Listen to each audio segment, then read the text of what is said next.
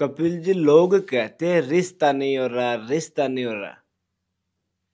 मैं ये कहता हूँ, जब रिश्तेदारी खत्म होती जा रही है तो रिश्ते होंगे कहाँ से? पहले के टाइम में कपिल जी, आपको पता क्या होता था?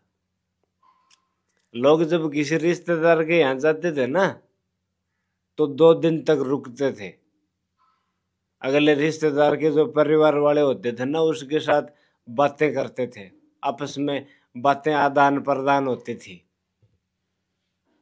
तब जाके कोई दूसरा रिश्ता तय होता था।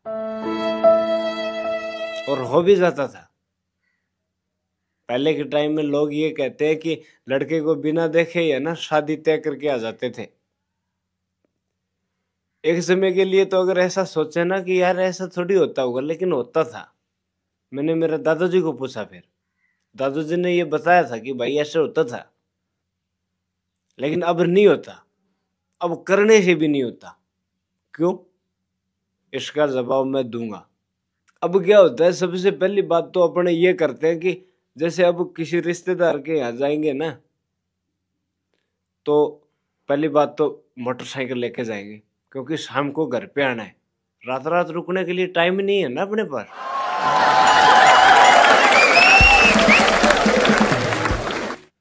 तो मोटरसाइकिल लेके जाएँगे या फिर जिसके पास गाड़ी है, वो गाड़ी लेके जाएगा। जाने के बाद में लास्ट दो मिनट तक वो रामा श्यामा होती है। रामा श्यामा खत्म होने के बाद में फिर दोनों रिश्तेदार अपने अपने फ़ोन में लग जाते हैं ऐसे।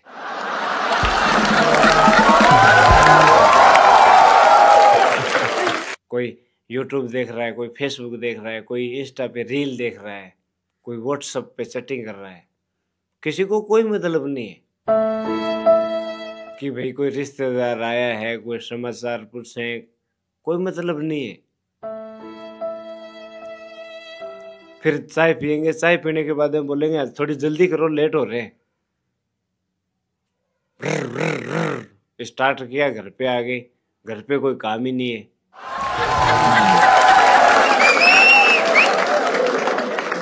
और फिर बोलते हैं, रिश्ता नहीं हो रहा। होंगे रिश्ते। ऐसे चलता रहा ना तो रिश्ते होंगे, लेकिन दूसरे तरीके से होंगे। ऐसे नहीं होंगे फिर। और सच बता रहा हूँ, कपिल जी, ये रिश्तेदारी है ना, खत्म होती जा रही है। थोड़े से टाइम बाद में, ज़्यादा टाइम की बात नहीं कर रहा हूँ मैं। मैं ये नहीं कर रहा हूँ कि दो हज़ार साठ, सत्तर, ये नहीं कर रहा हूँ मैं। बस थोड़े से टाइम बाद में ना, रिश्तेदारी बिल्कुल खत्म हो जाएगी। किसी भी रिश्तेदार को किसी भी रिश्तेदार से प्रेम नहीं रहेगा। कपिल जी, सच बता रहा हूँ, मेरे दादाजी कहते हैं कि बेटा, जब मेरा रिश्ता हुआ था ना तो मैं घर पे ही नहीं था। वो मैं बाहर गया हुआ था कहीं, पीछे से रिश्ते वाले आए और रिश्ता करके चले गए। मेरे को तो रिश्ता होने के बाद में भी पता नहीं चला। वो शादी वाले, शादी के दिन, तीन दिन, चार दिन पहले वो बान बिठाते हैं ना, उस दिन मेरे को बुलाया इधर आ। इधर पाटड़े पे बैठ, तेरी शादी करेंगे।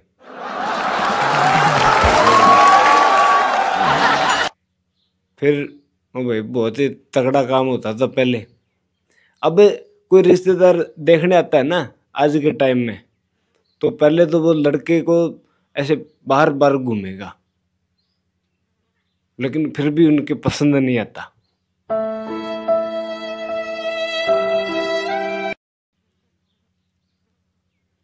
फिर वो लड़का भी मन ही मन में सोच रहा होता है, सालो पसंद कर लो मेरे को, कैसे वैसे भी करके पसंद कर लो। लेकिन वो गोल घूमते हैं पहले, फिर भी पसंद नहीं आता।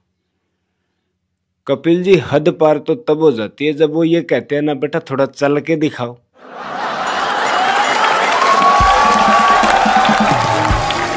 सालो भैंस खरीदने आयो इधर, चल के दिखाओ।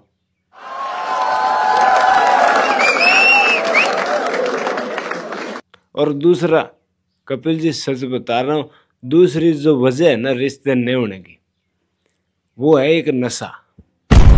पहले के टाइम में दारू पहले भी पीते थे लोग, लेकिन लोग दारू पीने के बाद में डरते थे कि अपने घर वालों को पता नहीं चल जाए परिवार वालों को पता नहीं चल जाए, रिश्तेदारी में पता नहीं चल जाए।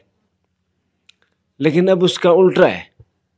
जब तक घर वालों को परिवार वालों को, रिश्तेदारों को पता नहीं चले ना, तब तक दारू पीने का मज़ा ही नहीं